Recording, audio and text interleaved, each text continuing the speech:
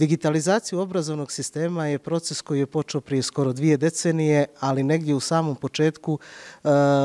on nije imao neku jaku dinamiku, više smo se bavili infrastrukturnim stvarima, e, jer e, i sama digitalizacija kako u svim sektorima, tako i u sektoru obrazovanja je nešto što nekako je nalazilo na dosta otpora i nerazumijevanja i zbog toga je ta neka dinamika išla dosta sporije. Uh, Eh, trenutak kada je najveće ubrzanje došlo, kada je digitalizacija u pitanju, je bilo izazvano korona virusom i na neki način i obrazovni sistem je bio eh, izložen tome da eh, prosto smo morali naći pomoć u tehnologiji da bi realizovali mnoge procese u obrazovno-vaspitnim ustanovama. Vi znate na samom početku kako je sve išlo, da u prvim trenucima kada su se obustavila nastava, morali su roditelji da odnosno nastavnici komuniciraju sa djecom i onda su koristili razne tehnologije za to. Neko je koristio Viber, neko Whatsapp, neko Google Classroom, Zoom, Teams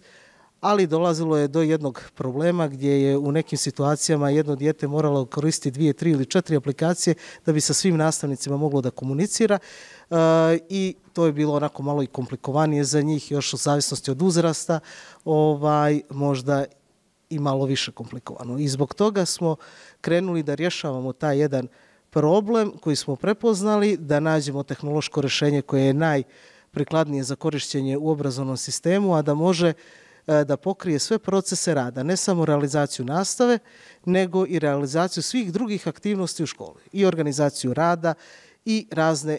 i nastavne, mogu reći slobodno i van nastavne aktivnosti. E, I kao tehnološko rešenje e,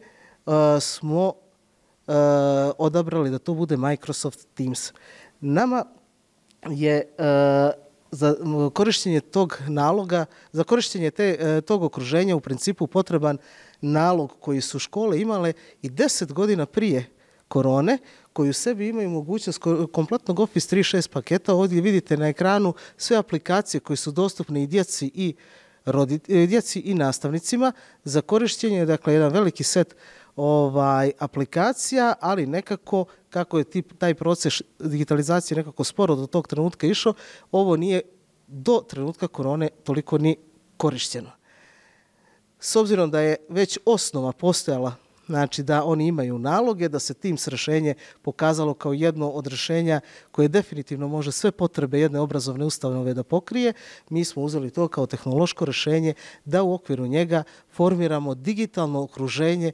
jednog školsko u školi i da preko njega funkcioniše ta komunikacija i saradnja između svih aktera, znači između nastavnika, između uprave i nastavnika, nastavnika djece i tako dalje.